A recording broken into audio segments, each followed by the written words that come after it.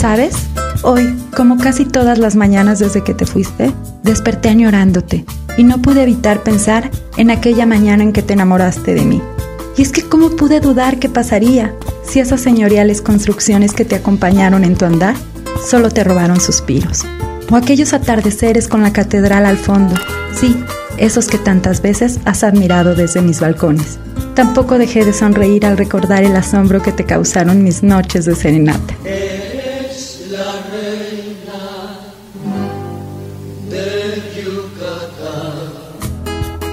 ¿Y cómo te cautivó descubrir mis raíces? Sé que pasará algún tiempo antes de encontrarnos, pero para que no te olvides de mí y me sientas más cerquita, te preparé una dosis de mí con un puñado de magia moldeada con mis manos y una pizca de todos mis sabores. La verdad, yo también te extraño. Extraño verte recorrer las calles como la realeza y tus tardes de confidente en la plaza. ¿Y qué decir de tu fascinación por mis dulces besos, que bien saben robarte sonrisas de felicidad?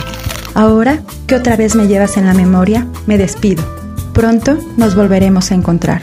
Y mientras eso pasa, no te olvides de mí, porque yo siempre te estaré esperando. Por siempre tuya, Mérida.